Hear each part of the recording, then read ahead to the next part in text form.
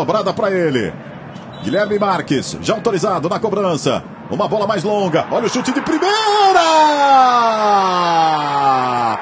Gol!